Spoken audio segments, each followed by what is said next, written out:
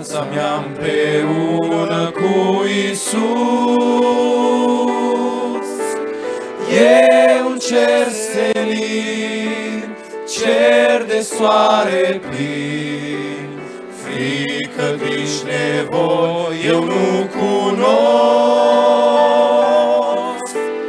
Căci de toate de la El primesc. Doamne, te slăvesc și îți mulțumesc pentru bunătatea-ți mare, pentru încercări, binecuvântări. Doamne, azi îți mulțumesc. Să știe toți că-s fericit cu Isus al meu ce m-a mântuit. Vreau de acum doar Lui să îi slujesc. Prin viața mea să-i mulțumesc. Doamne, te slăvesc și îți mulțumesc pentru bunătatea-ți mare, pentru încercări, binecuvântări. Doamne, azi îți mulțumesc. Doamne, te slăvesc și îți mulțumesc pentru bunătatea-ți mare, pentru încercări, binecuvântări. Doamne, azi îți mulțumesc.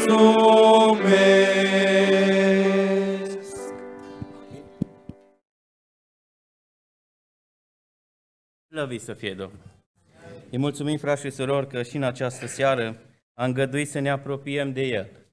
A îngăduit să ne întâlnim unii cu alții. Mai zic ce câte unul că n-am venit să ne întâlnim unii cu alții. Frați și surori, puterea noastră și tăria noastră stă în frați.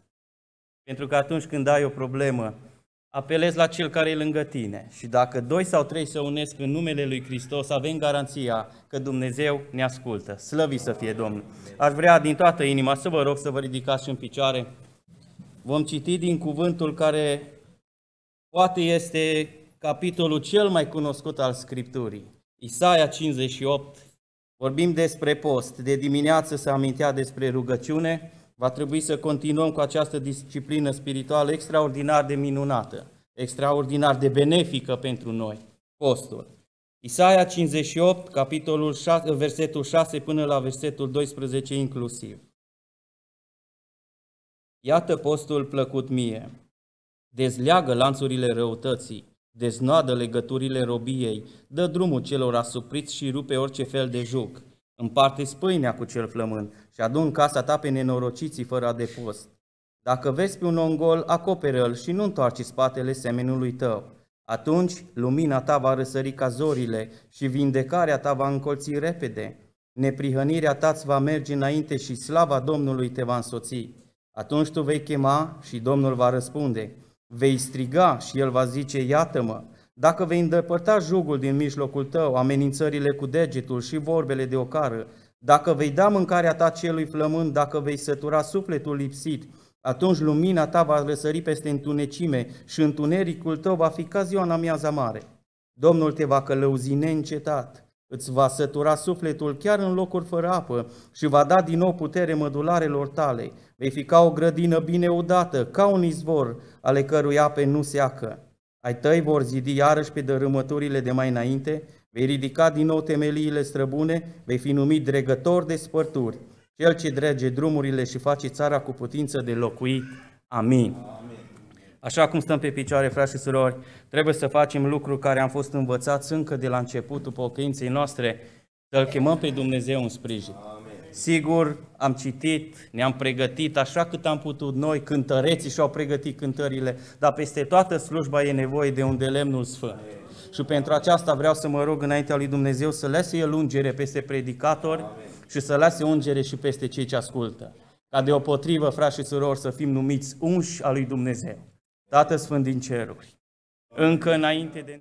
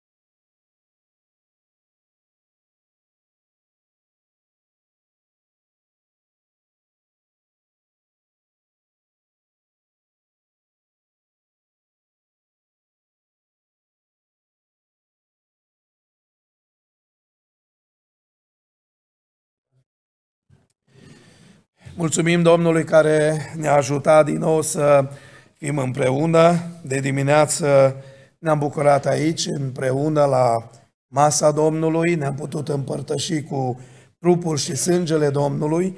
Mă bucur de toți acei care, cu ajutorul Domnului, având acea dorință interioară, ați venit din nou la casa de rugăciune, la închinare și părtășie într-o zi călduroasă de vară, dar credem că aici între noi Domnul va înviora sufletele și va binecuvânta inimile și ne va și da și sănătatea de care noi avem nevoie să putem să ne închinăm înaintea lui Dumnezeu întotdeauna. Ne bucurăm de familia Tătar care este împreună cu noi Eh, dorim din toată inima Domnul să-l bine, binecuvinteze familia aceasta, pe sora Adriana și pe fratele Gelu, Dumnezeu să-i binecuvinteze. Domnul să-i folosească, în mod special în această dupămasă ne rugăm pentru fratele Gelu, Domnul să-i dea un cuvânt binecuvântat pentru noi.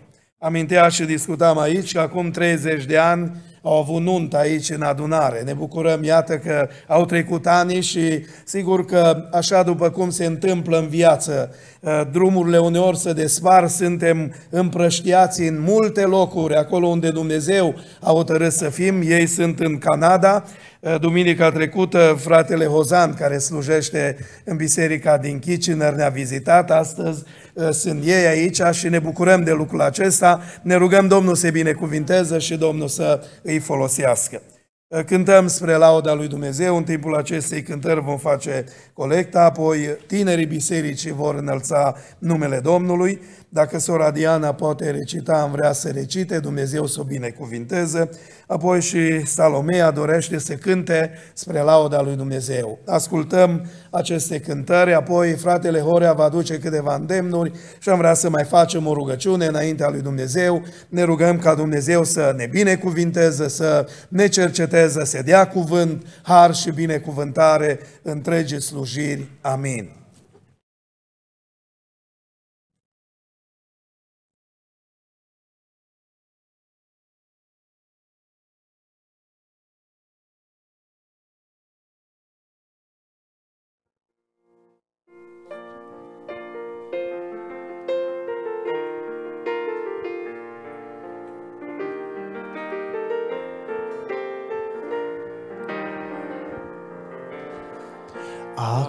Cât încă se mai poate, lucrează frate cu folos, că nu-i mai prețios din toate, decât ce faci pentru Hristos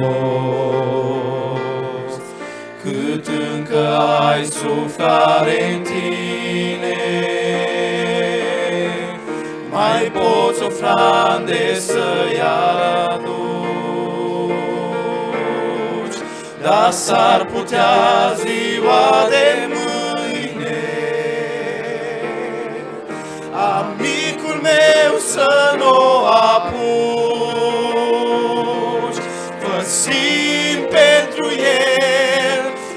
Făstim pentru ce din toate aceasta mai presus.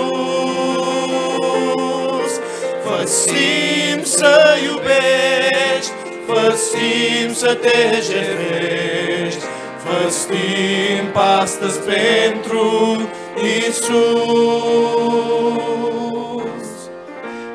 Făstim pentru acei ce lume aleargă din rău spre mai rău. Nu obosi, ci spune, spune de dragostea lui Dumnezeu. Făsim și mergi fără cârtire la patul celor suferiți, că ei așteaptă cu iubire, măcar o mână să le întind.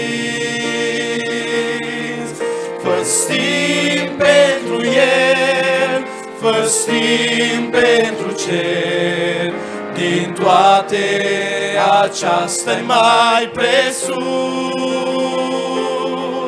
Făstim să iubești, făstim să te jertfești, făstim astăzi pentru Isus. Făsim pentru copii care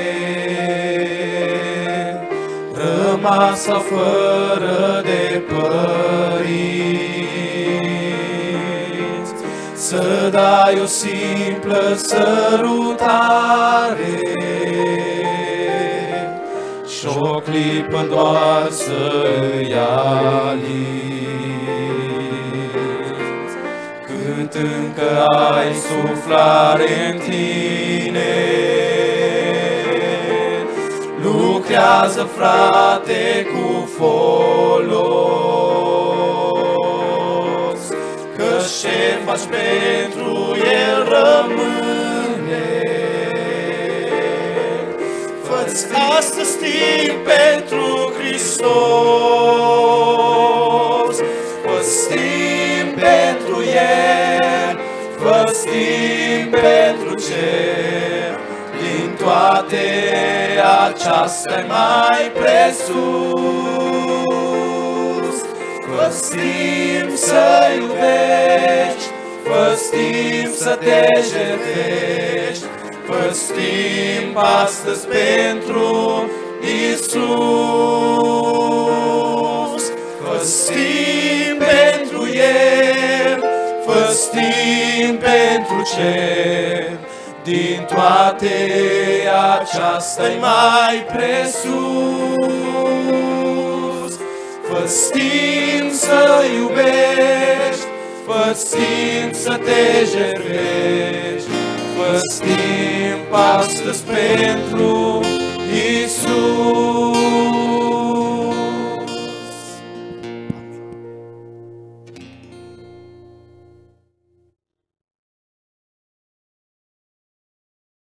Să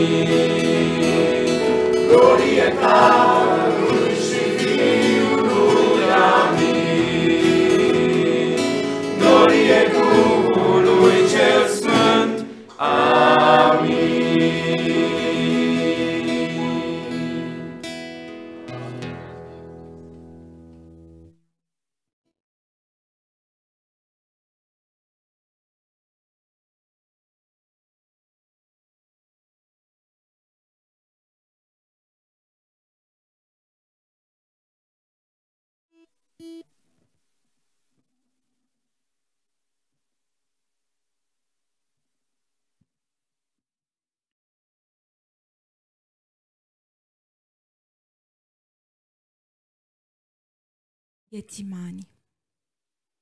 Un singur ceas nu ați vegheat, ne spune azi Iisus și nouă, și în ochii lui văd stropi de rouă din noaptea când a fost strădat. Va merge el din nou la moarte când este viu în veci de veci?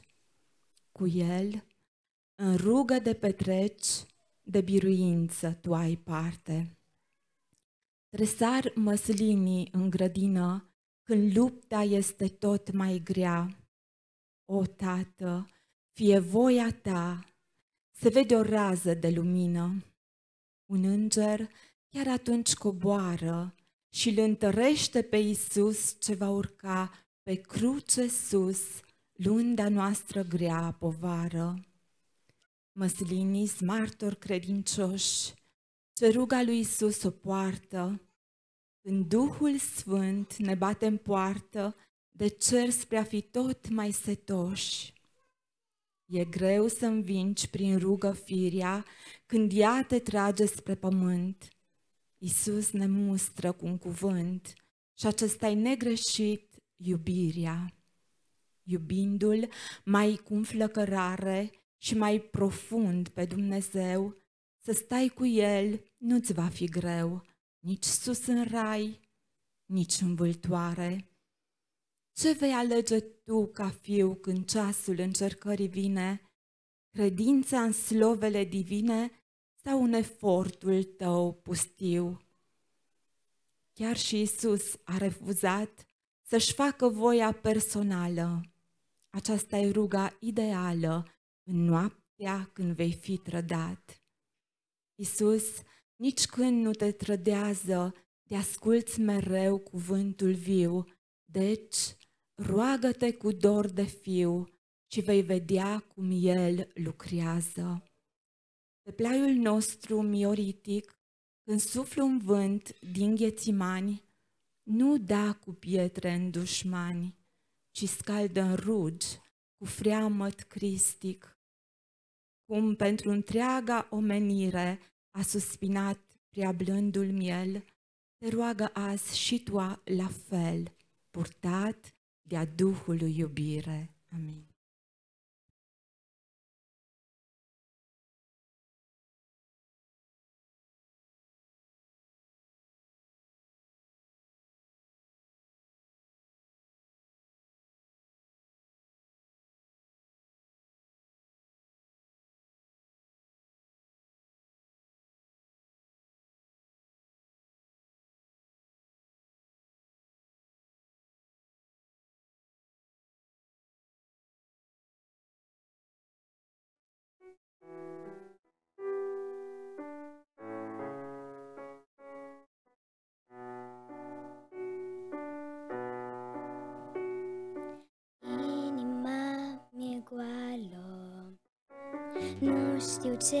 Să cred Totul e ruină.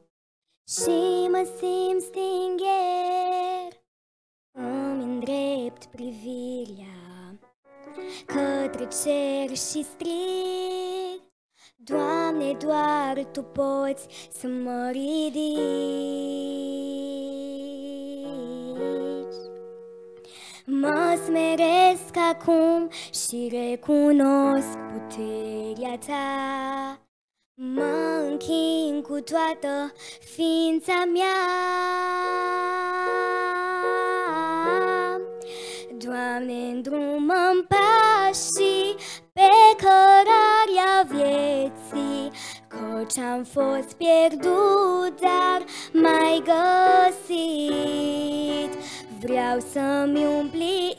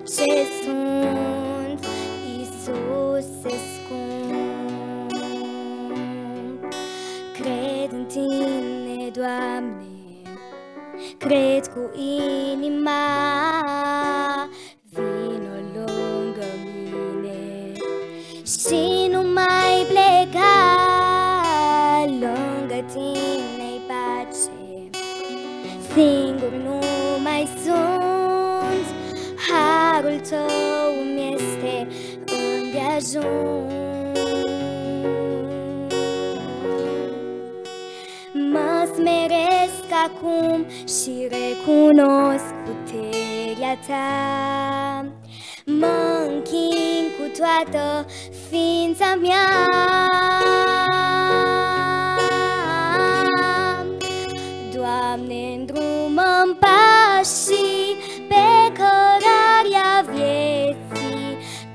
Căci am fost pierdut, dar mai găsit. Vreau să-mi umpli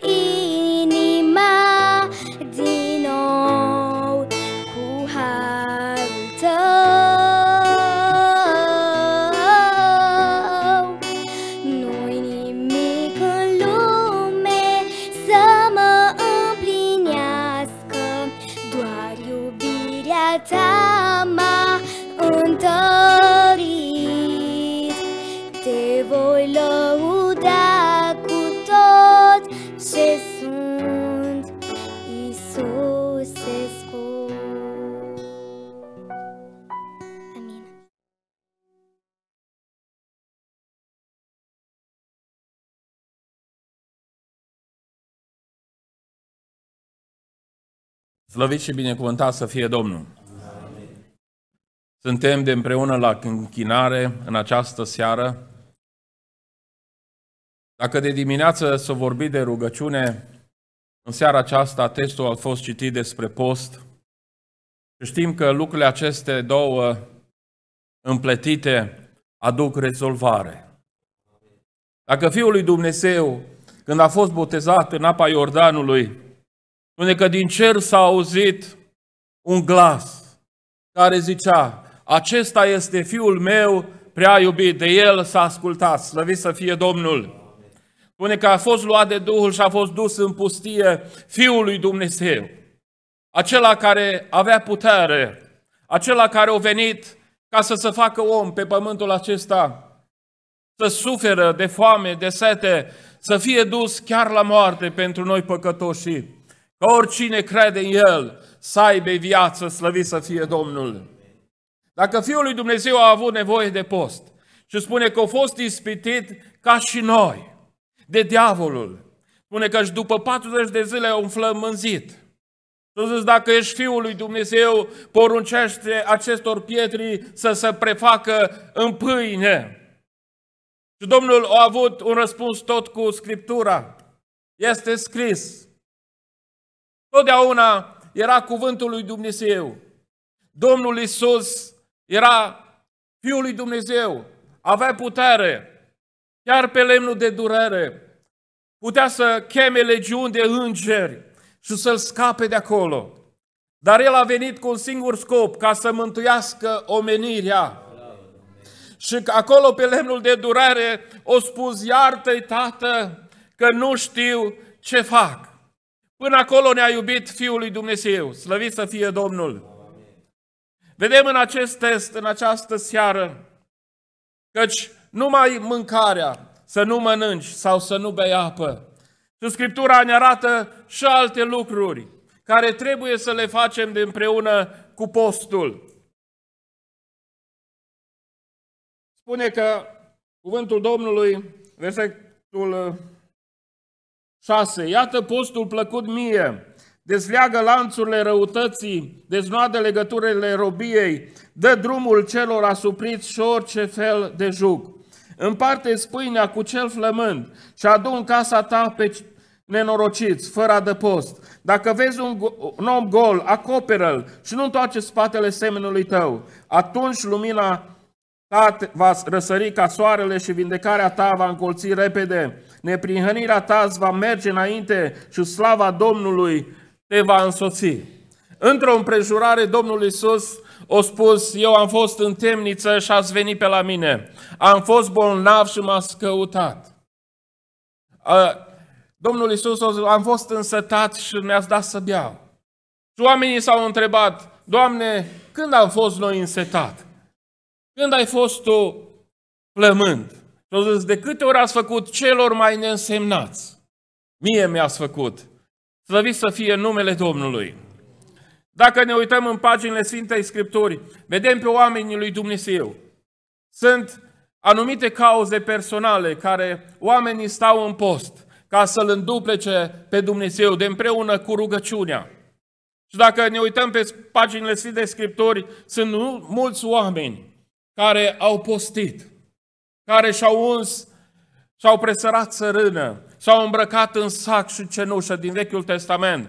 Și Dumnezeu din cer i-a ascultat, slăvit să fie Domnul, pentru că a Lui este puterea în cer și pe pământ.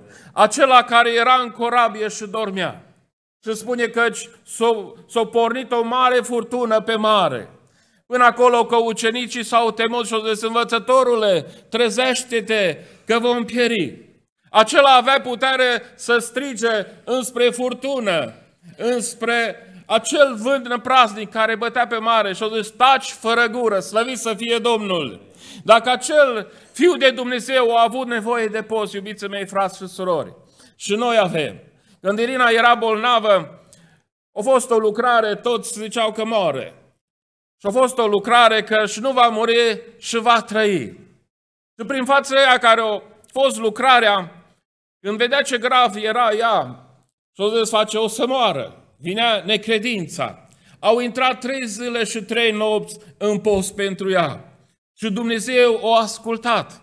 De împreună cu acei frați au intrat și alți frați. Dumnezeu ne ascultă. Biserica întreagă sunt cauze, de exemplu, în Estera, dacă ne uităm, vedem că Estera a anunțat un post de trei zile ca să poată să intre la împăratul. Acea femeie a ajuns ca împărăteasă, era din poporul evreu. Și dacă a vrut să nimicească acest popor, acea femeie care nu avea voie să intre la împăratul, doar cu, dacă îi întindea împăratul toiagul, acea femeie a fost ascultată de Dumnezeu de împreună cu tot poporul, o intrat la post.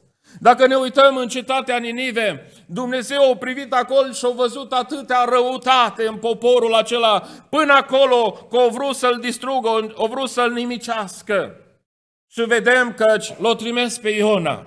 Iona privind ca om, spune, Doamne, eu nu mă duc acolo. Mai bine îi nimicești. Ce-au făcut? Au fugit la Tars. Pentru că Dumnezeu vroia să vorbească prin acest om. Spune că acolo s-a pornit o furtună pe mare și toți oamenii strigau la Dumnezeu lor, numai Iona dormea liniștit. L-o trezit și-a spus, scoală-te și roagă-te și tu la Dumnezeul tău. Poate Dumnezeu să va îndura și ne va scăpa. Și ce-o zis Iona? Face eu sunt vinovat aruncați-mă în mare și marea și furtuna și ploaia și vântul se va potoli, pentru că cunoștea puterea lui Dumnezeu, slăvit să fie Domnul, aleluia! Și acolo din fundul mării, Iona a strigat înspre Dumnezeu, de acolo de unde izvoreau izvorele și marea. Spune că ce-a fost înghițit de un pește mare. Și de acolo, din întuneric, din strâmtorare, o strigat înspre Dumnezeu și Dumnezeu l-a auzit pe Iona. Aleluia! Pentru că și Dumnezeu ascultă, iubiții mei, frați și surori. Și dacă l-a ascultat pe Iona, tot acolo trebuie să meargă unde a vrut Dumnezeu.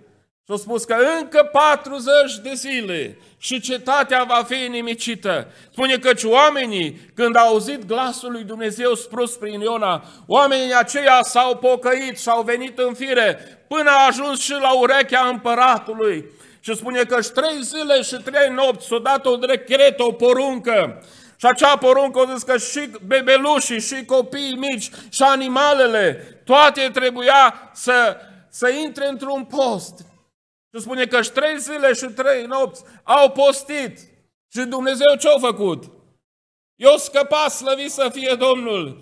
Iona s-a supărat și a stat sub un enupăr acolo. Și spune că un, un viarme a venit și o ros acolo, acea umbră care o avea el. Și tare s-a supărat. Și ce a zis Dumnezeu? Iona, bine faci că te superi. Dacă tu din pricina unui enupăr face care într-o zi o crescut și într-o noapte s-a dus. Și eu să nu mă îndur de 120 de mii de oameni în cetatea aceasta, vedem că și Dumnezeu este plin de milă și de îndurare. Într-o împrejurare, ucenicii s-au întors bucuroși și au spus până și duhurile ne sunt supuse, pentru că și Domnul Iisus o sufla Duh Sfânt peste ei, i-o trimis în lucrare și lucrarea Domnului însoțea, slăvit să fie Domnul. Dumnezeu să însuflețească pe fiecare din adunare, ca Duhul Domnului să ne însuflețească în lucrare, ca oamenii să, mear, să vină la mântuire, slăvit să fie Domnul. Spune, nu vă bucurați că duhurile vă sunt supuse, și bucurați-vă că numele vostru este scris în cartea vieții. Vedem într-o brejurare un alt exemplu, că ucenicii n-au putut să scoată niște duhuri care erau asupra unui băiat. Face, l-am adus la, la ucenicii tăi și n-au putut să-l scoată. Și ce-au spus? Astfel de duhuri nu pot fi scoase decât cu post și cu rugăciune, slăvit să fie Domnul. Aș vrea să ne ridicăm în picioare. Să mai facem o rugăciune, avem un safir să ne rugăm pentru creștere spirituală, ca Dumnezeu să lucreze în adunarea Betania și am văzut atâtea minuni și aici, în mijlocul nostru, și am rămas de câte ori vin aici, spun, era băiatul acela, n-avea un pic de stare, Kevin, acum ai plecat în Irlanda, și nu vorbea, avea vreo trei ani jumate. Și i-am zis, Irina a vorbit cu mama lui și a zis, de la adunare să-i să facă ungerea. Și Dumnezeu poate să-l facă să vorbească. Fratele Ghițiu a făcut ungerea, s-a rugat. Ce ziceți? După ungere, când a ajuns acasă, i s-a deschis gura copilului și primul cuvânt care l-a spus, dați-mi să mănânc, mi-este foame, slăvit să fie Domnul, aleluia! Am văzut atâtea minuni cu ochii. Oare ce ne poate despărți de dragostea lui Dumnezeu? Spune cuvântul Domnului doar o inimă rea și necredincioasă. Ne rugăm ca Dumnezeu să lucreze, să boteze cu Duhul Sfânt, să facă ridicare și noi să ne proșternem, slăvit să fie Domnul. În Vechiul Testament se proșterneau cu sac și cenușă, alții se rădeau în cap. Dar acum avem pe Fiul lui Dumnezeu mijlocitor, slăvit să fie Domnul. Și dacă suntem doi sau trei adunați în numele Lui, El ne ascultă. Lăudat să fie Domnul. Amin.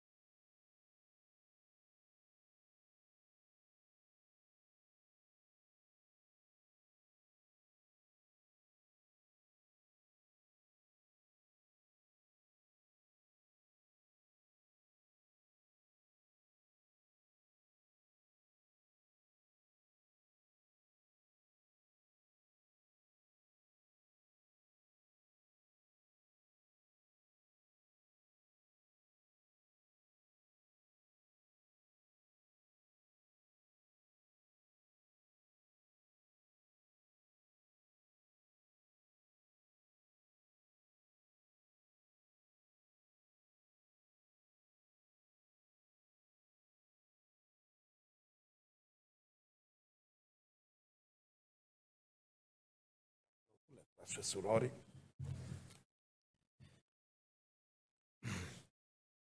Textul acesta uh, care s-a citit în prima parte ne vorbește Biblia ce nu trebuie să facem în ziua apostolului. Și nu numai în ziua apostolului. Așa, în general, ca oameni al lui Dumnezeu, ce nu avem voie să facem și apoi în partea a doua, de la versetul 6, Biblia ne învață ce trebuie să facem în ziua apostolului. Poporul acesta lui Israel, da, era, era supărat. Era supărat pe Domnul. Și vin și pun anumite întrebări. Și Domnul le dă răspunsul. Privitor la post, este unul din textele biblice care uh, vorbesc detailat despre această disciplină spirituală, disciplina postului. Domnul să binecuvinteze Biserica Betania și să învățăm așa cum era amintit din cuvântul lui Dumnezeu, sunt anumite duhuri care nu ies afară decât cu post și cu rugăciune. Frați și surori, oamenii lui Dumnezeu, cei care ne-am întors la Dumnezeu, pe lângă faptul că am încheiat un legământ cu Dumnezeu, trebuie să exersăm în viața noastră disciplinele spirituale. Așa după cum un atlet sau un uh, uh, cineva care se uh, implică într-o competiție nu poate lua premiul dacă nu se antrenează tot așa, frați și surori, din punct de vedere spiritual, nimeni nu va putea să fie puternic spiritual dacă nu se antrenează. Și antrenamentul acesta îl facem prin practică.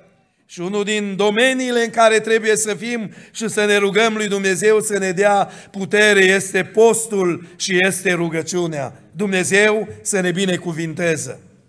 Avem o săptămână cu biserica stabilit pe lună, o săptămână de post și de rugăciune, ce mult m-aș bucura dacă în săptămâna aceasta toți am fi implicați în această lucrare a lui Dumnezeu. Dumnezeu să ne binecuvinteze. Frați și surori, postul nu este doar pentru uh, slujitorii bisericii. Postul este pentru toți. Am învățat să practic disciplina aceasta încă din adolescență.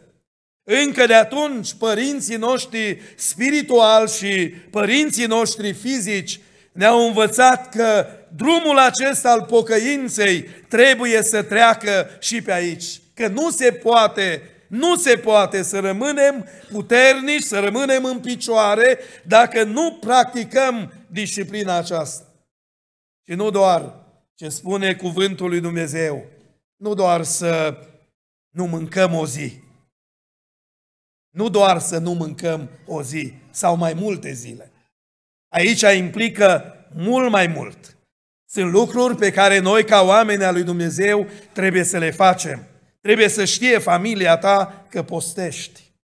Și nu pentru că îți sluțești fața. Nu pentru asta trebuie să știe cei de lângă tine că tu postești. Trebuie să se vadă în viața ta, în atitudinea ta, că tu ești un om care cauți fața lui Dumnezeu. Mă rog din toată inima, Dumnezeu să ne binecuvinteze, Dumnezeu să binecuvinteze adolescenții, Dumnezeu să binecuvinteze tinerii, Dumnezeu să binecuvinteze familiile, Dumnezeu să binecuvinteze întreaga adunare, frați și surori, să ne obișnuim, să stăm înaintea lui Dumnezeu și să practicăm disciplina aceasta spirituală. Doamne, ajută-ne! Și în felul acesta vom fi oameni puternici, în felul acesta vom rămâne în picioare și vom fi biruitori în numele Domnului. Dar, frați, revin din nou ceea ce spune cuvântul lui Dumnezeu. Postul nu înseamnă doar abținere de la mâncare și băutură. Nu doar atât, frați și surori. Este și aceasta o disciplină a trupului nostru. Dar postul înseamnă bunătate, postul înseamnă dărnicie, postul înseamnă să mă comunic cu Dumnezeu în ziua aceea. Să ne ajute Dumnezeu. Ă, ne unim în cântarea de laudă, înălțăm numele Domnului, apoi corul bisericii, știu că sunt mai puțini, ne rugăm pentru ei, Domnul să-i binecuvinteze, ă, vor sluji prin cântare. De dimineață ne-am bucurat că a fost aici, corul a fost aproape în întregime. Cei care sunt în după masa aceasta vor sluji. Apoi tinerii bisericii împreună cu adolescenții vor înălța numele Domnului în urmă.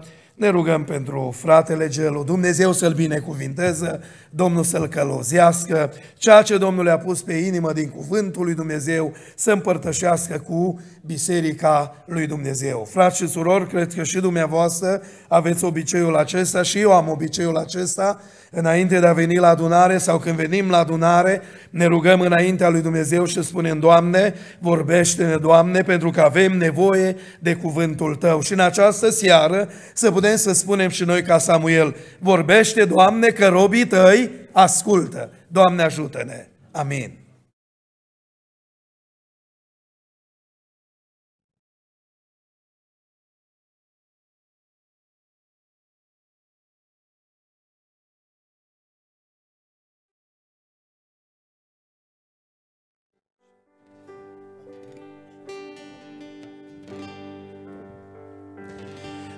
Veni o zi în care toți aleșii Domnului vor cânta un imn de slavă mielului.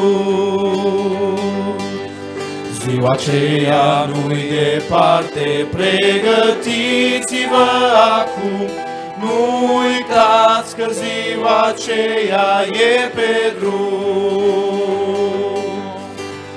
Ce minune va fi când Domnul va veni, toți aleșii Domnului cu El vor fi. Vei fi și tu acolo la masa Domnului, pregătește-te că ziua e pe drum. Toată alergarea fericit vei fi și tu, vei primi cu luna slavei lui Isus. Degrăbește-te acum până când mai este har, nu lăsa să treacă timpul în zadar. Va fi când Domnul va veni, toți aleșii Domnului cu El vor fi. Vei fi și tu acolo la masa Domnului, pregătește-te că ziua e pe drum. Viața în îndoială și așteaptă pe cel sfânt, când curând El va apare pe pământ. Va veni să-și ia acasă rodul jertfei din calvar, dând la toți aleșii mântuire în dar. Ce minune va fi când Domnul va veni, toți aleșii Domnului cu El vor fi. Vei fi și tu acolo la masa Domnului, pregătește-te că ziua e pe drum. Ce minune va fi când Domnul va veni, toți aleșii Domnului cu El vor fi. Vei fi și tu acolo la masa Domnului, pregătește-te că ziua e pe drum.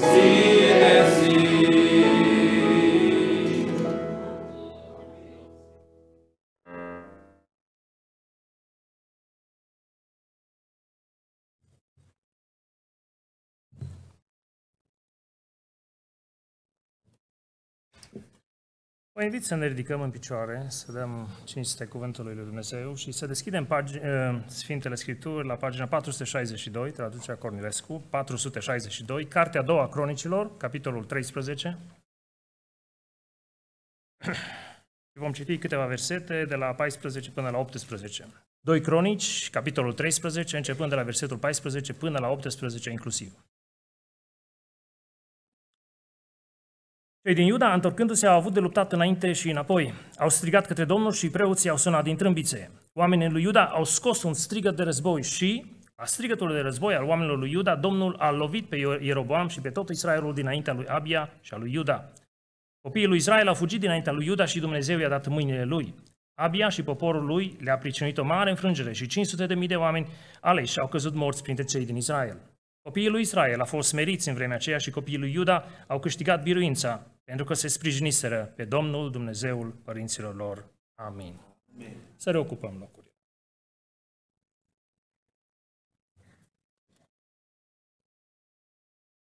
Psalmistul scrie în psalmul 133, așa de frumos, zice, iată, iată ce plăcut și ce dulce este să locuiască frații împreună. Slăvit să fie numele Domnului. Amin. Este plăcut și este dulce pentru câteva motive deosebite și este plăcut și este dulce pentru că acolo unde locuiesc frații împreună, spune psalmistul în acest, în acest psalm, spune psalmistul omului Dumnezeu David, pentru că acolo unde se adună frații există două lucruri. Există un de lemnul de preț, este ungerea lui Dumnezeu și ne rugăm ca Domnul să lasă ungerea lui Sfântă. Amen. Și este roa, este roa Hermonului. Și fie ca Domnul să împrospăteze și să învioreze inimile noastre și viețile noastre. Căci acolo de Domnul binecuvântarea, viața pentru veșnicie. Doamne, lasă Tu binecuvântarea Ta. Amin. Lasă Tu binecuvântarea Ta peste viețile noastre, peste inimile noastre, peste ființele noastre în întregime. De multe ori se naște întrebarea și se spune întrebarea, Doamne, aș vrea ca Domnul să mă binecuvinteze și aș vrea și mă rog ca Domnul să mă binecuvinteze. Una din marile condiții ca Dumnezeu să ne binecuvinteze este aceasta, 133. Ca frații să locuiască împreună. Du-te la strângerea la o altă, du-te la biserică. Fii împreună cu frații și cu surorile, că acolo Acolo, de Domnul binecuvântarea. Doamne, ajută-ne la aceasta. Aducem călduroase salutări din, din partea bisericii din Kitchener, din Canada, uh, și salutul bisericii noastre, dacă l-ați văzut și pe fratele Hozan duminica trecută, este Psalmul 20, care zice că să te asculte Domnul în ziua necazului, să te ocrotească numele Domnului Zeului lui Iacov. Dumnezeu să o binecuvinteze, Dumnezeu să-și trimită ocrotirea Lui, îndurarea Lui, mila Lui și harul Lui peste unul fiecare și Domnul să-și lase binecuvântările peste fiecare, peste Biserica Amen. Betania. Așa cum vorbeam și cu preabitul frate Daniel, pentru noi Biserica Betania este, are o, o conotație specială, o conotație deosebită, chiar dacă noi suntem din Sâncrai, chiar dacă noi suntem de la Betel, pentru că noi suntem acolo și mergeam acolo la biserică, dar uite că așa a fost conjunctura, că noi ne-am căsătorit aici, noi am încheiat aici legământul căsătoriei și avem această amintire, cu 30 de ani, nu vine să cred, avem această amintire frumoasă pe care, cu care Dumnezeu ne-a binecuvântat, fie ca Domnul să binecuvânteze întreaga biserică, fie ca Dumnezeu să binecuvânteze toate familiile bisericii. Când traduceam pe vremuri, când traduceam pe fratele Richter, care vă amintiți, traduceam pe fratele Richter, de fiecare dată aducea salutări, salutări din partea bisericii din Cuxhaven, de unde venea dumnealui din Germania, pe vremuri, Doamne Iisuse, și de fiecare dată menționa și din partea mai negelipte frau, din partea prea iubitei mele soții, eh, sora Herta. Eh, noi avem harul să fim împreună aici, avem harul să ne bucurăm împreună de părtășia și de prezența fraților.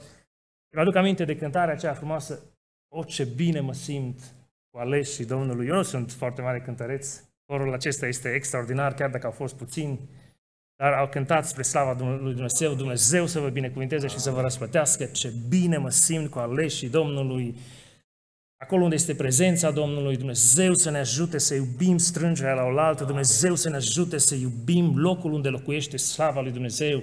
Atâta de mult îmi place, la un moment dat psalmistul zice, mă bucur, mă bucur când mi se zice, haidem la casa Domnului. Dar știi cât este de mare bucuria psalmistului? Este urmată de acțiune imediată. Auzi?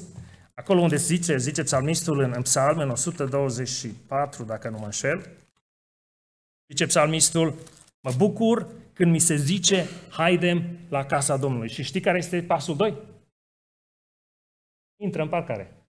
Picioarele mi se opresc în porțile tale, Ierusalime. Deja e la el, e la biserică, deja e la templu. Atâta de mult se bucură, atâta de mult, atâta e de dragă, strânge la o la altă și frățietatea și părtășia. El e deja prezent acolo.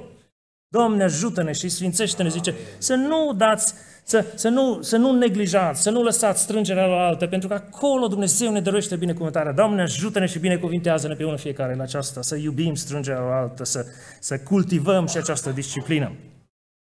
Alături de textul citit despre, despre, uh, despre post și despre această disciplină spirituală, dorim să subliniem câteva lucruri legate de disciplina spirituală în general a creștinului, alături de, de, de disciplina postului, a rugăciunii și a luptei spirituale. Fiecare dintre noi, iubiți frați și surori, dragă biserică în Domnul Iisus Hristos, suntem chemați să ducem această luptă spirituală. În momentul în care am intrat în apa botezului și am declarat, am declarat că îl iubim pe Domnul Isus și am spus că vrem să-L urmim, îl urmăm până la capăt, ducem această luptă spirituală până la sfârșitul vieții noastre. Până la sfârșitul vieții noastre am intrat în această luptă împotriva vrășmașului sufletelor noastre care este diavolul. Fie ca Dumnezeu să ne ajute, să ne întărească, să ne dărească putere și cu toții împreună trăgând și câteva concluzii din textele care au fost citite, cu toți împreună să înaintăm în această luptă, în această bătălie spirituală care ne este înainte pentru fiecare dintre noi. Doamne, binecuvântă-ți toată biserica! În primul și în primul rând, iubiți frați și surori, este foarte importantă identificarea identificarea, care este locul nostru, care este rolul nostru, care este determinat de voia lui Dumnezeu pentru noi. Câtă vreme noi nu suntem în locul acela, în felul acela, în poziția aceea, nu funcționăm după voia lui Dumnezeu. Am citit acest text din 2 Cronici 13, n-am vrut să citesc foarte mult, dar vă reamintesc, vă reamintesc contextul. Se separă împărăția lui Israel, se separă în, în împărăția de nord, Israel, 10 seminții și împărăția de sud, Iuda. Iuda care păstrează, care păstrează rânduielile și, și, și uh, poruncile date prin Moise, date prin uh, Aron și, și împărăția din Israel care încearcă să-și producă propria închinare și propriile, uh, propriul fel de slujire înaintea lui Dumnezeu. Și se iscă acest război civil în interiorul lui Israel, împărăția de nord și împărăția de sud. Israelul de nord și Iuda. În contextul acesta, cei din Iuda Abia este împăratul lui Iuda și el vorbește în aceste versete, vorbește despre această importanță acestei identificări cu lucrarea și cu lupta Domnului, cu identificare cu oastea Domnului. Citesc chiar un verset, versetul 12, dacă vreți, înainte de textul citit, 2 Cronici 13 cu 12, în care spune în felul următor, foarte interesant, vă rog să fiți atenți. Iată că Dumnezeu și preoții Lui sunt cu noi. Ce, ce declarație, Doamne, fii Tu cu noi. Domnul să ne ajute și El să fie de partea noastră, El să fie călăuza noastră și Dumnezeu să fie de partea noastră. Domnul, ajută-ne Tu la aceasta. Dumnezeu și preoții Lui sunt cu noi în fruntea noastră și avem și trâmbițele răsunătoare ca să sunăm din ele împotriva voastră. Copia lui Israel, spune Abia împăratul lui, dar nu vă luptați, nu vă luptați, zice, împotriva Domnului Dumnezeului părinților voștri, căci nu veți avea nicio izbindă. Dar vă întreb, ce ei se luptau împotriva Domnului? Ei se luptau împotriva lui Iuda. Se luptau împotriva celor fraților lor din sud. Dar fraților din sud aveau această identificare cu lucrarea lui Dumnezeu. Aveau această identificare cu planul lui Dumnezeu, cu, cu ceea ce Dumnezeu a poruncit, cu poruncile și cu legile lui Dumnezeu. Pentru că, iubiți frați și surori, atunci când suntem, este cel mai important ca să fim în voia lui Dumnezeu. Este important să facem voia Lui, să facem planul Lui. Nu suntem chemați să venim aici doar consumatori. Frații din frunte, tinerii, corul, Domnul să-i binecuvânteze, să-i sfințească pe toți. Rugați-vă pentru toți ca să îndeplinească o slujbă înaintea lui Dumnezeu. Dar nimeni dintre noi, de la primul, de la fratele Daniel, Domnul să-l sfințească, să-l binecuvinteze și toți slujitorii și, și toți lucrătorii din biserică, Domnul să-i sfințească, să vă rugați, să-i purtați în rugăciune. Dar din, din, din capul bisericii până la ultimul frate de la ușă, fiecare dintre noi suntem chemați să contribuim la înaintarea lucrării Evangheliei. Doamne, ajută-ne Tu la aceasta. Nimeni dintre noi nu este un consumator pasiv. Nu este tabăra lor, și a noastră, nu sunt ăia de acolo din față și noi, ci suntem chemați cu toții să fim în Hristos una, suntem chemați cu toții să contribuim.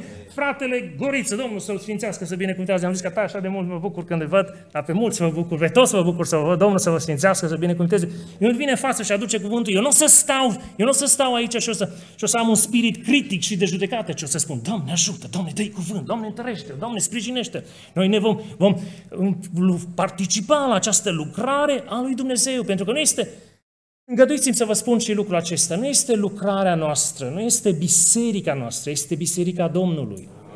Nu este, nu este casa nici a fratelui Daniel, nici a fratelui din Căruce, ci este atât de mult îmi place, la un moment dat, spune Domnul Iisus, casa aceasta, casa mea se va numi o casă de rugăciune. Doamne, dă-ne un duc de rugăciune. Amin. Venim la casa Domnului, suntem în lucrarea Domnului. Domnule, ajută-ne să înaintăm astfel și astfel să facem cu toții lucruri. Nu suntem consumatori, doar să ascultăm predici, doar să ascultăm conferințe, convenții, prorocii și așa mai departe. Ce important este rodirea noastră, trăirea noastră.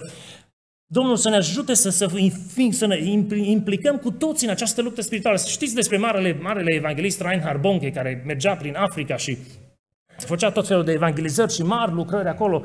La un moment dat mi-aduc aminte cum se povestea cum a mers într-o zonă din Congo care, care era un imperiu al vrăjitoriei și al lucrărilor demonice și, și rengile copacilor erau toate scrijuite și sfrijite și întorse în jos de, de toate puterile satanice care se manifestau acolo. Ei bine, când omul acesta mergea pe scenă și se și propovădea Evanghelia, erau acolo, era în, în, în scena aceea, în spate, în culise, erau din, din echipa lor oameni care se rugau în continuu pentru cuvântul care este propovăduit. Noi venim aici la biserică și nu doar consumăm, cum au fost la biserică, a fost faină, nu, nu, nu. Noi venim la biserică și ne rugăm în continuu. Noi venim la biserică și mijlocim în continuu. Doamne, ajută-ne Tu la aceasta. Dă Tu cuvânt, lasă ungere, lasă, lasă harul Tău. Domnul să ne ajute la aceasta, pentru că acesta este un secret al biruinței, prea iubiți, atunci când noi ne identificăm cu El, când ne identificăm cu lucrarea Domnului. De aceea, Domnul să ne ajute să alungăm tot ce este firesc, tot ce, tot ce este pământos, tot ce, tot ce nu este după voia lui Dumnezeu, să fim în planul lui Dumnezeu, gândurile Lui, Zice psalmistul în 37 cu 4, așa de mult îmi place cuvântul acela, zice, Domnul să-ți fie desfătarea, zice, Domnul să-ți fie desfătarea și El îți va da tot ce-ți dorește inima. Cine nu-și dorește ca Domnul să asculte, să răspunde rugăciunii, să dea, auzi, să-ți dea Domnul tot ce-ți dorește inima. Doamne, îndură-te și ascultă rugăciunile noastre. Dar observați condiția, zice, Domnul să-ți fie desfătarea. Domnul să-ți fie desfătare, adică să te bucuri în el, adică să-ți găsești, să-ți găsești această bucurie, această satisfacție. Cum ajungem ca Domnul să ne fie desfătarea? Ne întoarcem chiar la textul de astăzi, Isaia 58. Și haideți să deschidem un pic la Isaia 58 și să vedem versetele 13 și puțin din 14. Zice, zice acolo omului Dumnezeu, Isaia, în contextul acesta al, al importanței postului, dacă tot vorbim despre această disciplină spirituală, zice, dacă îți vei opri piciorul în ziua sabatului, ca să nu-ți faci gusturile tale în ziua mea cea sfântă, dacă sabatul va fi desfătarea ta ca să sfințești pe Domnul slăvindu-L și dacă vei cinsti, și acum vă rog să fiți atenți, neurmând căile tale, neîndelindecindu-te cu treburile tale și nedându-te la flecării, atunci te vei putea desfăta în Domnul și eu te voi sui pe înălțimile țării. În momentul în care facem lucrul acesta, avem această desfătare în Domnul. Domnul să ne ajute la aceasta.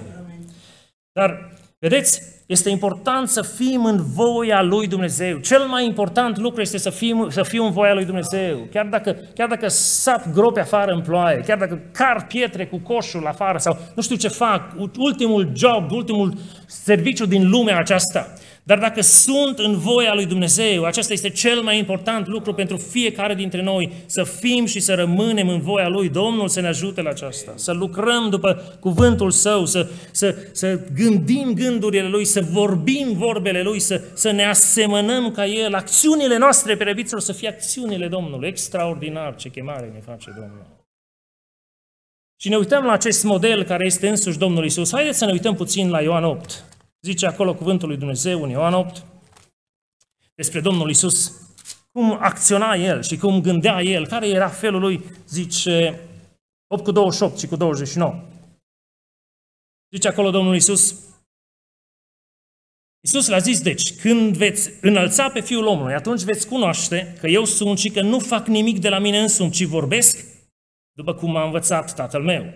Cel ce m-a trimis este cu mine, Tatăl nu m-a lăsat singur pentru că totdeauna fac ce este plăcut. Adică să cauți în permanență, să faci voia lui Dumnezeu, să faci ceea ce este plăcut lui Dumnezeu. Haideți să ne uităm și în Ioan 5 cu 19. Tot acest model pe care îl avem al Domnului nostru Isus Hristos. Isus a luat din nou cuvântul și le-a zis. Adevărat, adevărat vă spun că Fiul nu poate face nimic de la sine. El nu face decât ce vede pe Tatăl făcând și tot ce face Tatăl face și Fiul în tocmai. Auziți? Fiul nu poate face nimic de la sine. Haideți să ne uităm și în 5 cu 30.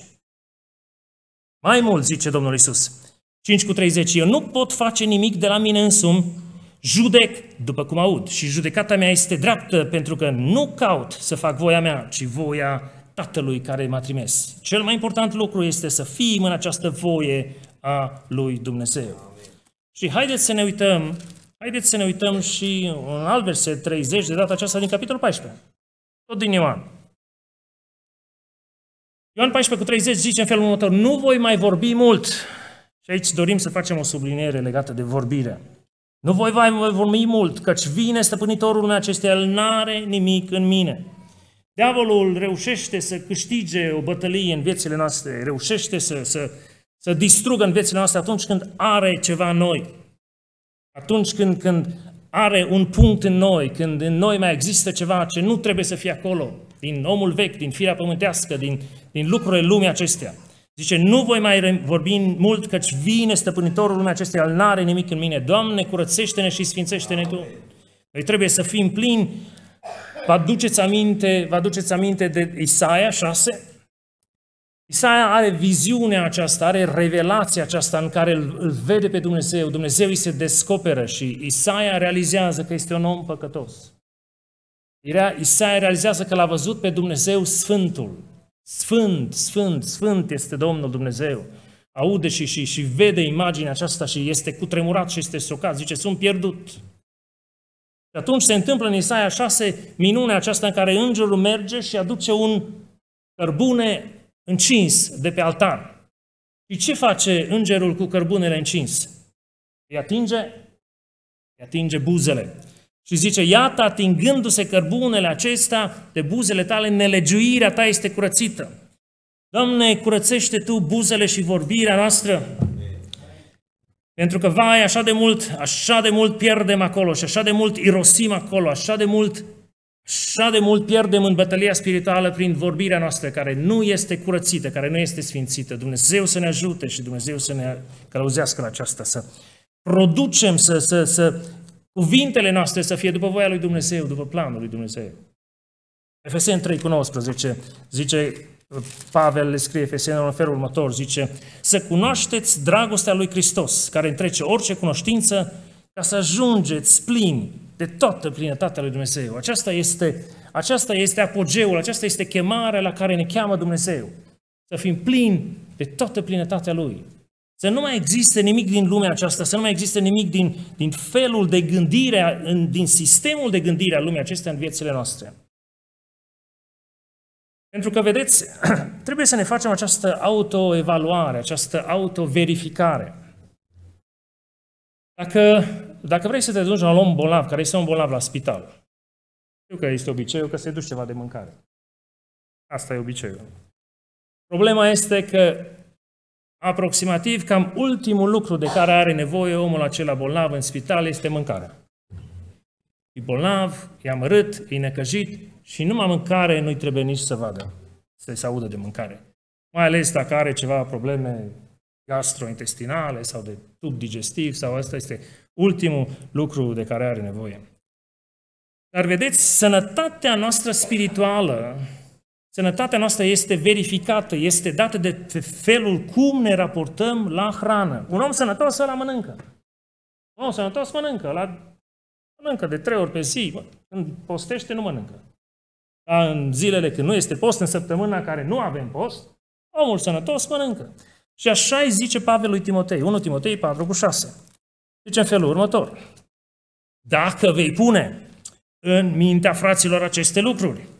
Zice, vei fi un bun slujitor al lui Hristos Iisus? Și ce zice mai departe acolo? Pen, fiindcă te hrănești cu cuvintele credinței și ale bunei învățături pe care ai urmat-o până acum.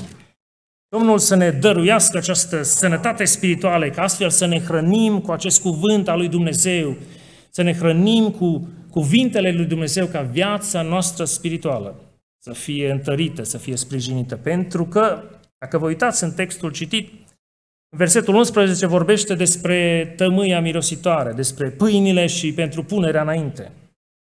Și pâinea reprezintă, desigur, cuvântul lui Dumnezeu. Și fiecare dintre noi suntem chemați să... Sigur, este frumos că sunt uh, ecranele acestea și ne uităm repede la versetele pe care frații le pun Domnul să-i binecuvinteze. Dar fiecare dintre noi suntem chemați să folosim Biblia noastră, fie că este Biblia fizică, fie că este în format electronic, digital, cum vrem să-i spunem. Noi trebuie să, să folosim cuvântul lui Dumnezeu, trebuie să ne hrănim zi de zi, să, să răsfoim, să subliniem, să notăm, să, să învățăm, să memorăm. Cuvântul lui Dumnezeu ne, ne ajută, ne întărește. Este, Dumnezeu este Cel care ne poartă de grijă, care ne vorbește prin cuvântul Său. Amin ne binecuvintează chiar și memoria, chiar și în, în, în vest și dincolo este, este o, o, o epidemie și o, o frică, o angoasă îngrozitoare, să nu faci Alzheimer, să nu-ți pierzi mințile. Nu există tratament, nu există, există un fel de prevenție, dar o să vorbim despre ea chiar acum, nu există un tratament Așa cum la cancer nu sunt foarte multe, la Alzheimer nu există tratament și omul își pierde mintea. Ei bine, cuvântul lui Dumnezeu ne cheamă să ne umplem mintea noastră de cuvântul său, de vorbele sale, de... La un moment dat, la un moment dat uh, Richard Wurmbrand este în închisoare, este bătut, este torturat, este schingiuit acolo și uh, scrie la un moment dat în memoriile sale că și-a pierdut memoria.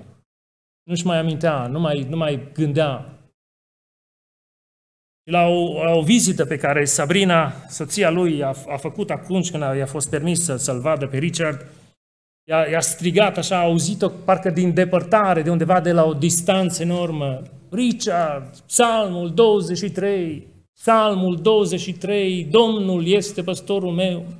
Și cuvântul lui Dumnezeu a fost cel care a, a restartat în mintea lui, în viața lui, și și-a, l-a ajutat să-și aducă aminte de promisiunile lui Dumnezeu. Pentru că avem nevoie să ne hrănim, să ne umplem mintea noastră și viața noastră și ființa noastră cu cuvântul lui Dumnezeu. Amen.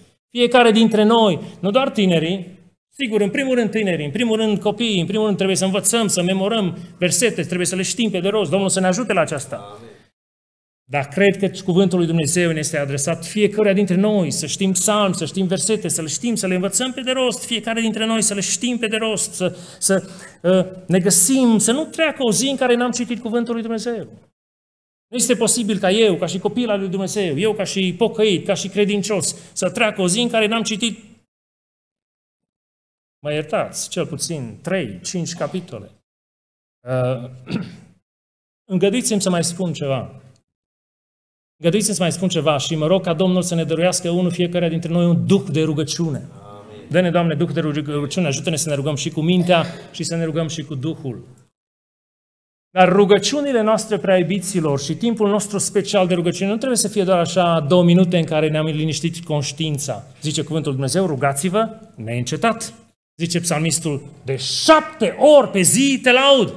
Auzi? De șapte ori pe zi te laud. Când Domnul îi mustră pe ucenici, când ucenicii adorm, vă aduceți aminte ce unitate de măsură le dă Domnul relativă la rugăciune? Ce? Un minut? A, nu un minut. Un ceas? N-ați putut să vegheați. Unitatea de măsură cerească, divină pentru rugăciune nu este minutul, nu este cinci minute, ci este ceasul. O, Doamne, dăruiește-ne Tu un duc de rugăciune, dăruiește-ne Tu, Doamne, Ajută-ne să ne rugăm și cu mintea, și cu Duhul și viața noastră să fie o viață de rugăciune, o viață de mijlocire. Suntem chemați să, să purtăm această rugăciune neîncetat. Neîncetat. Suntem chemați să, ca focul pe altarul nostru să ardă în permanență. Și îngăduiți-mi să vă mai spun ceva. Este și cântarea aceea, orice suferinți și lacrimi fierbinți Fratele Hozan, apropo de fratele Hozan, am făcut câteva călătorii cu dumnealui prin, prin Canada, uh, are o memorie extraordinară și, și dumnealui ne, ne cânta pe traseu, uh, ne cânta pe traseu cântări întregi. Știți cum este cântarea? Sunt strofele și refrenul. Și noi, hai că mai știm refrenul, dar strofele nu le mai știm, că ne-am obișnuit cu, cu toate aceste proiectări pe, pe perete. Ca fie ca Domnul să umple inimile noastre de cuvântul Său cel Sfânt. Și cuvântul lui Dumnezeu să locuiască, zice Pavel, din belșug în inimile noastre. Și atunci când suntem într-o situație, și atunci când suntem într-o împrejurare, când suntem loviți, când suntem atacați, primul lucru, primul lucru care iese din noi, care, care, prin care reacționăm, prin care vorbim, să fie cuvântul lui Dumnezeu. Să vă spun ceva. Cei ce iubesc mântuirea ta, așa zice psalmistul, să zică neîncetat, ce să zică? Preamărit să fie Domnul. Acum eu vă întreb, acum eu vă întreb, iubiți mântuirea Domnului? Amen. Doamne, slăvit să fie Domnul pentru mântuirea care ne-a dat-o în Iisus Hristos, glorie lui Dumnezeu! Atunci știi ce trebuie să facem? Trebuie să zicem neîncetat, preamărit să fie Domnul. Slăvit să fie numele Domnului. Doamne, dă-ne Tu, Doamne, acest duc de recunoștință, de mulțumire. Trebuie să fim recunoscători Domnului. Trebuie să fim mulțumitori Domnului pentru toate lucrurile. Așa scrie cartea, așa scrie cuvântul, nu-i așa? Știți că există în lumea asta, hai, uite, noi suntem la biserică, avem și una, există peste 100 de mii de boli, nici nu le poți număra, peste 100 de mii de boli. Îi mulțumești lui Dumnezeu că ești cât de cât sănătos și poți să vii la casa Domnului. Îi sunt recunoscător Domnului că și în ziua asta a fost cu mine și am fost azi dimineața la cină și sunt în seara aceasta la părtășie cu frații.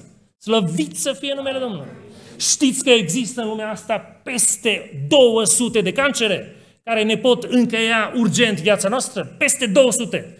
Îi mulțumim lui Dumnezeu pentru fiecare celulă care este sănătoasă în corpul nostru. Glorie lui Dumnezeu! Știți că corpul nostru are peste 60 de miliarde de celule. Peste 60 de miliarde de celule. David n-a avut nevoie de descoperirile lui științei lui ăștia din secolul 20-21 și toți biologii și a, toată știința. De, nu, nu, n-a avut nevoie. Și zice, Dumnezeule, Tu m-ai țesut, Tu m-ai creat. Ce minune, ce minunat și în ce chip minunat m-ai creat Tu. Glorie lui Dumnezeu! Fiecare celulă și fiecare celulă din noi poartă ștampila lui Dumnezeu, acel ADN care este specific fiecăruia dintre noi. Știți că nu există o persoană identică cu amprenta dumneavoastră digitală în tot universul, în toată lumea aceasta? Pentru că Dumnezeul nostru este mare, pentru că Dumnezeul nostru este măreț, pentru că Dumnezeul nostru este glorios și El se îngrijește de fiecare aspect al vieții noastre. Glorie Lui! Știți că rinichii noștri, acești mici organi din, din de aici, din spatele noștri, așa mici ei cum sunt, filtrează peste 180, auzi, să iei 18 găleți de 10 litri și să le umpli cu apă aici. 18 găleți. Aia lucrează rinichii noștri într-o zi, în 24 de ore și filtrează neîncetat, filtrează sângele nostru și elimină din sângele nostru tot ce este toxic, tot ce nu este bun organismului și le eliminăm. Ne ducem și le eliminăm. Și Dumnezeu ne dă sănătate. Glorie Lui! Păi lucrul ăsta mă face să, să sar în sus de bucurie, să izbucnesc de mulțumire și să spun, Doamne, îți mulțumesc pentru îndurările tale. Te laud, zice Psalm, David n-a avut nevoie de descoperirile ăștia, de uh, articole științifice din 2021, din 2020 sau nu știu de când vreți dumneavoastră, de, de la nemți sau de la american, nu, nu, zice, te laud că sunt o făptură așa de mare, așa de minunată. Și da, zice, zice, zice David, și ce bine vede, și ce bine vede ochiul meu lucrul acesta, mărire lui Dumnezeu. Fie ca Domnul să ne ajute să-i fim recunoscători. Fie ca Domnul să ne ajute să-i fim mulțumitori. Zece au fost vindecați, auzi? Zece. Pe toți a vindecat Domnul Isus. Pe toți a vindecat. Câți au venit și au mulțumit Domnului? Câți? Unu. Vă mai întreb. Câtă Evanghelie știa la unu? La câte evangelizări și la câte cântări și la câte predici și la câte prorocii și la câte programe de biserică a fost prezentă la unul? La niciuna. Ăla nu era, nu era, nu avea voie să meargă nici în sinagogă. Ăla era samaritan. Iubiți frați și surori, frați sfinți în Domnul Isus, să venim cu o inimă mulțumitoare înaintea lui Dumnezeu. El ne-a făcut, suntem ai Lui, suntem turma pășunei Lui, El este Cel ce ne poartă de grijă, El este Cel ce ne-a chemat, El este Cel ce ne-a mântuit și în El avem tot ceea ce noi avem nevoie, în El avem mântuire, în El avem salvare, în El avem vindecare, în El avem sănătate, în El avem tot ceea ce fiecare dintre noi își poate gândi vreodată care are nevoie. Glorie Lui! La un moment dat, zice Domnul Iisus, zice, ascultați-mă bine. Așa am sărbătorit azi dimineață. Cine nu mă mănâncă pe mine, n-are viața. Și cine nu bea sângele meu, n-are viața. Și mulți au zis, știi, teologi de ăștia sfătoși, teologi de ăștia super iluminați. Ăștia au zis, ah, vorbirea asta e prea de tot, cine poate să mai sufere și îl părăsesc? Dar Domnul Iisus, atât îmi place, Domnul Iisus nu se duce și nu fuge repede la Petru, la Ioan, la Iacov, nu fuge, auzi, auzi, stați, stați, stați, stați, stați să, să vă explic, să nu... Zice, voi nu vă duceți! Ce zice Simon Petru? Ce zice Simon Petru? La cine să ne ducem, Doamne? Tu ai cuvintele vieții veșnice, mărire lui Dumnezeu. Și noi am crezut, auzi? Noi am crezut și am ajuns la cunoștința că Tu ești Hristosul, Fiul lui Dumnezeu, glorie Lui în veci de veci. Apoi, dacă eu nu înțeleg toate, toate interpretările teologice, dacă eu nu înțeleg de ce mi se întâmplă ceea ce mi se întâmplă și de ce trebuie să mai trec și prin focul acesta, și prin durerea asta, și prin lacrimile astea care parcă nu se mai gata, chiar dacă nu mai înțeleg nimic, știu asemenea lui Iov, că răscumpărătorul meu este viu, glorie lui și într-o zi se va arăta și îmi va fi binevoitor, mărire lui în veci de veci. Și zice Iov, nu neamurile mele, nu soția mea, nu ceilalți zece copii care mi se vor naște, îl vor vedea și, și îi vor ura de bine. Nu zice, ochii mei îl vor vedea, glorie și slavă și mărire lui Dumnezeu. De aceea zice psalmistul, nu morții laudă pe Domnul, ci noi, eu voi lăuda pe Domnul și voi spune mărețele lui lucrări, slăvit să fie numele Domnului. Zice psalmistul, zice, îmi spăl mâinile în nevinovăție și așa înconjor altarul tău ca să izbucnesc în strigăte de mulțumiri, glorie lui Dumnezeu. Suntem chemați să aducem mulțumirile noastre, să aducem închinarea noastră, să aducem lauda noastră înaintea lui Dumnezeu pentru tot ceea ce El ne-a dăruit, bine și rău, slăvit să fie numele Domnului. Acum toate le-ai pierdut, nu mai ai nimic. Blastă-mă pe Dumnezeu și mor. Încheie totul. Am primit de la Dumnezeu tot binele? Și acum dacă El îngăduie răul, ce voi face? Domnul a dat, Domnul a luat. Binecuvântat să fie numele Domnului. Pentru că, prea iubiți, frați și orice ni se întâmplă, orice vine în calea noastră, în viața noastră, orice luptă prin care trecem, este filtrată, este aprobată, este verificată de Isus Hristos, mărire Lui în veci de veci trece pe la biroul lui de verificări, de consemnări, de, de evaluări și dacă Domnul spune, nu, nu, asta este prea greu, asta este prea greu pentru fratele, nu! Domnul nu o aprobă, dar zice, nu va ajuns nicio ispită care să nu fie potrivită cu puterea omenească și Dumnezeu care este extraordinar, Dumnezeu care este credincios, mărire lui în veci de veci. Vă invit să ne ridicăm în picioare, într-un mod ne, neprogramat, într-un mod ne, ne, după neliturgic, haideți să venim cu toți înaintea Domnului și să cerem îndurarea Lui, să cerem mila Lui. Haideți să venim înaintea Lui și să spunem, Doamne, venim cu mulțumire înaintea Ta, că Tu ne-ai dat sănătate, că Tu ne-ai dat viață, că Tu ne-ai dat mântuire, că Tu ne dai vindecare, glorie Lui în veci de veci, că Tu ne înveți disciplinele spirituale și ne chem să, să postim, să ne rugăm, să ne strângem la oaltă, să lăudăm numele Domnului. Iubiți, frați și surori, suntem chemați să trăim pentru Domnul. Zice, dacă trăim, trăim pentru Domnul. Dacă murim, murim pentru Domnul. Zice Pavel în, 2, în Galatei 2 cu 20, am fost răstignit împreună cu Hristos și trăiesc. Dar mai este viața mea. Viața pe care o trăiesc, că trăiesc în credința în Fiul lui Dumnezeu care m-a iubit și s-a dat pe sine însuși pentru mine glorie și slavă lui Dumnezeu. Haideți cu toții să ne unim glasul, haideți cu toții să ne curățim inimile și să ne apropiem de El, stânca mântuirii noastre, stânca izbăvirii noastre. Și chiar dacă eu nu înțeleg, și chiar dacă eu nu văd, și chiar dacă eu nu pricep, știu că într-o zi El îmi va răspunde. Știu că într-o zi mâna Lui va interveni. Știu că într-o zi El va răspunde rugăciunilor și cerelor și lacrimilor, mărire și glorie Lui în veci de veci.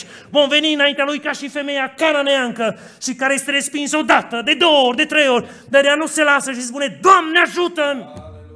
Și chiar dacă nu mai știu ce să mă rog și dacă nu mai știu cum să mă rog, vom striga către Domnul, vom spune, Doamne, Duhule Sfinte, roagă-te Tu prin noi. Și ne vom ruga cu mintea, ne vom ruga cu Duhul, dar vom, vom chema numele Domnului și vom spune, Doamne, lucrează Tu prin Duhul Tău cel Sfânt, dă Tu izbăvire bisericii, dă Tu mântuire bisericii și ridică Tu pe cei nevoiași, pe cei în dureri, pe cei căzuți, pe cei pierduți, vindecă pe cei bolnavi și întărește-ți Tu biserica Ta, zidește-ți Tu biserica Ta, cu toată biserica, de la cel mai mic copil până la cel mai în vârstă, strigăm înaintea Domnului și spunem, Doamne, îndură-te Tu și lucrează Tu, haideți cu toții să ne rugăm Domnului.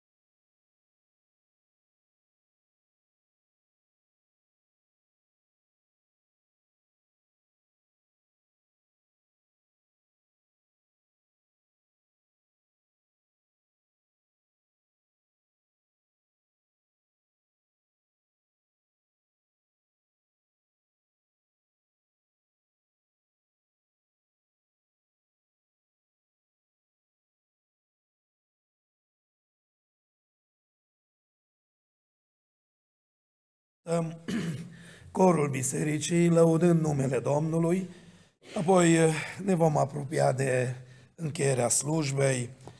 Pentru seara aceasta, fratele Adrian ne va conduce la rugăciune, se va ruga pentru noi și ne va încredința în mâna cea bună a Domnului. Sigur, ceea ce Domnul a pus pe inimă pentru ziua de astăzi, Domnul va rândui alte întâlniri în care să transmită ceea ce Domnul le-a pus pe inimă. Mulțumim pentru că Domnul e între noi. Mulțumim că ne cercetează și ne binecuvintează. Nu este important, frați și surori, cine vorbește. E important să fie cuvântul lui Dumnezeu E important, frați și surori, ca uneltele pe care Domnul le folosește să fie conduse de Duhul lui Dumnezeu. Este cea mai mare binecuvântare de care eu mă bucur atunci când sunt în casa lui Dumnezeu. Ne bucurăm când Dumnezeu lucrează și binecuvintează. Ascultăm corul și apoi vom încheia slujba Dumnezeu să fie lăudat și binecuvântat. Amin.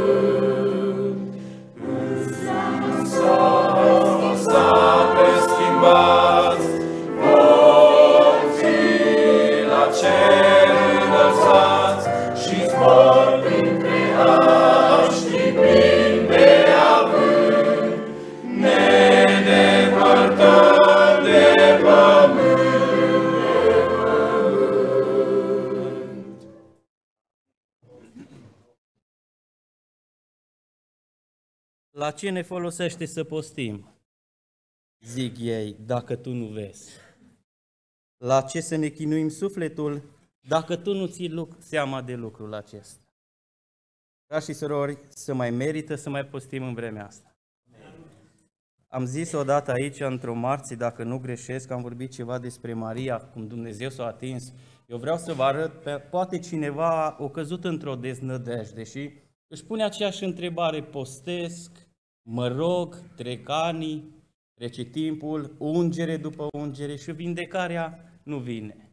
Eu vreau să vă încurajez în această zi că Dumnezeu răspunde postului. Amen. Și Dumnezeu lucrează. De ceva timp în urmă, câteva luni, am avut probleme cu Maria, avea dureri mari de cap, nu putea să suporte lumina, deci foarte greu pentru ea a fost perioada aceea și Am început să, Cosmin a mers cu ea tot felul de analize, cinci medici, neuro, endocrinologie, reumatologie, oftalmologie, o grămadă de medici au trebuit să uh, viziteze, analize de 5 ori cel puțin i-au tras sânge, o trebuie să facem remeneuri, o trebuie să facem uh, encefalogramă, tomografie în uh, coerență optică, mi-am și notat aici că mi se rupe limba câte îs denumiri.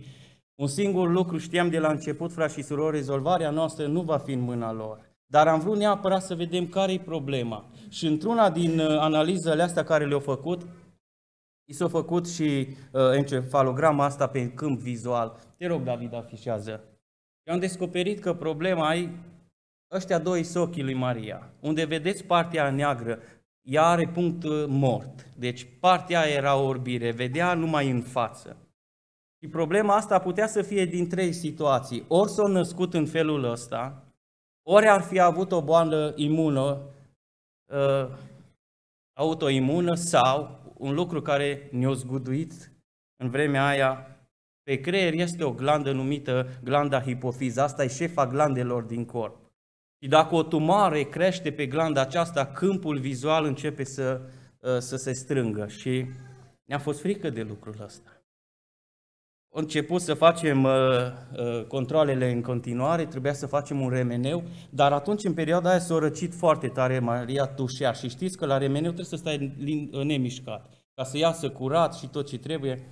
Și Cosmina s-a rugat cu ea, dar înainte să se roage pentru treaba asta, ca Dumnezeu să-i liniștească tusa, să poată să mergem la, la remeneu ăsta, s-a rugat și a cerut un cuvânt din partea lui Dumnezeu, că e bine, frați și surori, pe lângă toți specialiștii care sunt în lumea asta, să-L auzi pe cel mai specialist dintre toți. Și în timp ce a deschis Scriptura, i-a venit în minte versetul 17 și l-a deschis Scriptura la fapte capitolul 9, pe paginile ale un singur verset 17, unde spune acolo, Dumnezeu îl trimite pe Anania să vorbească cu Saul și spune, frate Saule, Domnul care ți s-a arătat pe drumul pe care veneai m-a trimis la tine ca să-ți capeți vederea. Și cuvântul frașiselor ne-a întărit în așa fel încât am crezut și am știut că Dumnezeu nu ne lasă. S-a făcut tot ce o mai trebuit să se facă și ne-am rugat. Maria a făcut un pas mai departe decât am făcut noi și a început să-și iei zilele de post. Într-o zi de luni a postit, s-a rugat mai deosebit Marța următoare, fratele Matei a făcut o ungere în adunare aici la o soră, nu mai știu cine, nu știa fata să-mi zică. În clipa când a început rugăciunea, Dumnezeu s-a atins de ea. Te rog, David, pune a doua imagine. Așa arată ochii ei acum, frați și surori. Niciun câmp întunecos. Cosmina a doua zi o și sunat, o trebuit neapărat să verificăm lucrul ăsta. Am vorbit cu doctorița care i-a făcut problema asta, a mai durat încă o lună programarea, dar după luna aceasta, frați și surori, vedeți acolo, e o linie subliniată jos, acolo scrie că nu mai e nici o problemă. Nu știu dacă s-a născut așa, nu știu dacă a fost tumoară, nici nu mă interesează. Tot ce știu e că Dumnezeu răspunde. Întreb încă o dată, să merită, frați și surori, să avem zilele de post? Amen. Poate că ei să chinuiau, dar eu vreau să vă spun ceva în această seară și cu asta și mă opreze. În seara asta eu am vrut să fiu o excepție de la textul 58. De când m-am pocăit, Până în această zi am auzit citindu-se, vorbindu-se despre textul ăsta, ba chiar câte un verset, dar niciodată n-am auzit citirea continuând de la versetul 13. Pentru că se vorbește despre sabat. Mă bucur că fratele Gelo a citit el, Uh, pe el nu se supără nimeni seara aceasta, dar vreau să vă spun ceva, frați și surori. Știți de ce se chinuiau oamenii ăștia? N-au înțeles ce vrea Domnul să spună. Ei s-au gândit sabat, îi sâmbătă. Sabat vreau să vă spun că înseamnă odihnă. Și dacă citim Cartea Evreilor, am înțelege foarte clar că Domnul Dumnezeu ne cere să intrăm în odihna aceea Lui în care am intrat. În urmă, în 29 iunie, am împlinit 21 de ani de când am intrat în odihna Lui Dumnezeu. În 21 de ani, frați și surori, am avut biruință cum nu m-am gândit, dar am avut și căderi, cum nu-mi vine să cred. Dar vreau să vă spun, după 21 de ani trag o linie și pentru mine Hristos e mai dulce ca oricând. Dacă intrăm în ziua aceasta, nu de sâmbătă, frați și surori, noi am intrat într-o odihnă care ne cere să nu ne facem gândurile noastre, poftele noastre, plăcerile și căile noastre. Știți de ce? Cântau tinerii aici, Făstim pentru cer, făstim pentru Hristos. Dacă în vremea în care corpul ți sănătos, în care poți să râzi și să fii fericit, nu-L cauți pe Hristos, va veni vremea când cu lacrimi și suspine îl vei căuta. Fratele Daniel aici poate să spună, nu știu treaba asta, dar aș fi curios dacă există o familie în adunare care să nu fi trimis măcar o dată un bilet în față. Rugați-vă, sprijiniți-mă în rugăciune. Nu știu dacă este. Cred că toți am trimis înspre locul ăsta. Dacă ne ținem zilele, frați și surori, așa cum ni le cere Dumnezeu, în ziua necazului și a durerii noastre, avem nădejde că Cel ce a făcut ochiul, ce a făcut urechea și orice organ în corpul nostru, poate să întindă o mână întinsă așa, cum a întins-o spre Israel și să spună, fi vindecat. Haideți să ne ridicăm în picioare. Și frați și surori, Oricât ar fi durerea de grea și necazul de mare și de usturător, niciodată să nu ne pierdem nădejdea. Că la urmă, după orice nor și după orice furtună, este un soare și un cer strălucitor. Întotdeauna îndreptați-vă ochii spre seninul acela și Dumnezeu ne va izbăvi. Aș vrea să mă rog înaintea lui Dumnezeu, dar sprijiniți în rugăciune, în cugetele dumneavoastră rugăciunea aceasta. Tată din ceruri, tu ai știut din totdeauna că noi în seara aceasta vom fi aici. Ai știut ce probleme, ce durere avem, ce gânduri, ce frământări, toate le-ai cunoscut. Ne-ai cunoscut și căderile, Doamne Dumnezeule. Cu toate acestea ne-ai căutat cu mare grijă. Ne-ai găsit, ne-ai numit copii ai tăi și ne-ai dat harul acesta să fim ascultați de Tine. În seara aceasta ne-am rugat înaintea Ta și am cerut tămăduirea sufletului. Am cerut-o, Doamne, vindecarea sufletului nostru, pentru că vrem să fim vii pentru Tine. Vrem să umblăm din putere în putere, din lumină în lumină. De aceea, în această seară, chemăm numele Tău, Iisuse, peste toate familiile, peste toți copiii Tăi, Doamne. Vrem din toată inima să se cunoască că în locul acesta trăiește un Dumnezeu viu, că în casa aceasta locuiește Dumnezeu Dumnezeilor. Vrem din toată inima să știe lumea că aici este un izvor de viață. Ascultă-ne în cererile care le avem și în săptămâna aceasta care vine, Dumnezeule, nu ne scăpa din priviri, nu ne lăsa din mâna Ta. Mergi cu noi în orice loc va călca talpa piciorului nostru. Lasă binecuvântarea Ta peste noi toți și noi ne vom întoarce în casa aceasta plin de laudă și de bucurie și vom mărturisi să știe toți că suntem copiii tăi, că ești Dumnezeul care ne ține, mărit să fie numele tău. Îți mulțumesc de tot ce lucrezi în viața noastră. Amin. Ocupați locurile, frați și surori.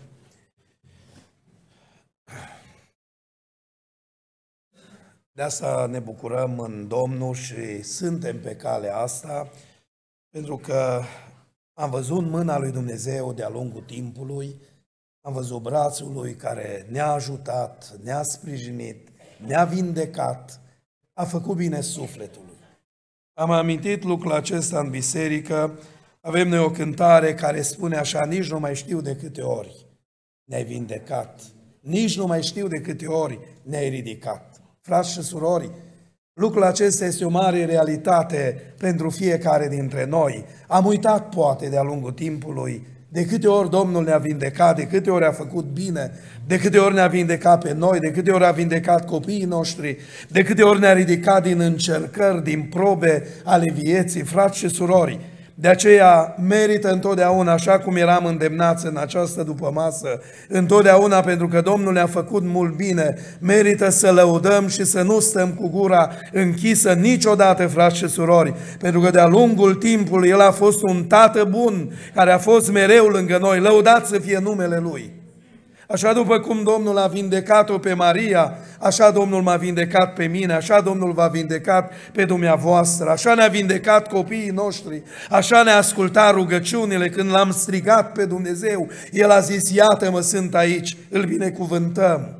Cred că nu la voia întâmplării, fratele Gelu a fost inspirat să ducă cuvântul în această direcție în care ne-a provocat din nou, frați și surori, să fim oameni al lui Dumnezeu care să preamărim și să binecuvântăm numele lui Dumnezeu, să ne ajute Dumnezeu. Și copiii care cu ajutorul Domnului au trecut prin examene, au trecut prin multe probe, Domnul a fost cu ei, merită să-L înalțe pe Dumnezeu, să-L binecuvinteze și nu numai ei, părinții, cei în vârstă pot să laude pe Dumnezeu și pentru toate acestea numele Domnului să fie binecuvântat. Mulțumim fratelui Gelu care a fost cu noi în această după masă, a dorit să fie împreună cu Biserica Betania. Ne bucurăm de slujirea pe care a avut-o, ne rugăm Domnul să-l binecuvinteze, Domnul să-l folosească în Canada și acolo unde Domnul a rânduit să slujească și să fie în vremea aceasta.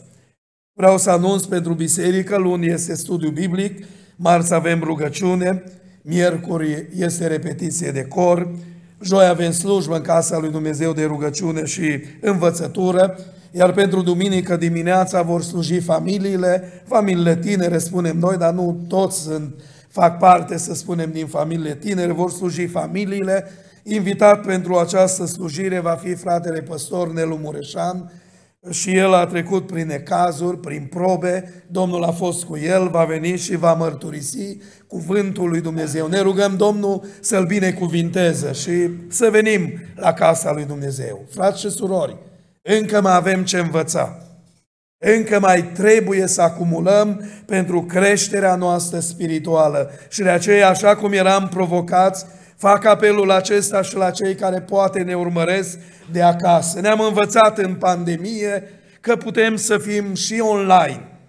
Dar amintesc lucrul acesta, l-am spus și atunci îl spun și astăzi. Online-ul niciodată nu va fi ceea ce înseamnă părtășia frățească înaintea lui Dumnezeu.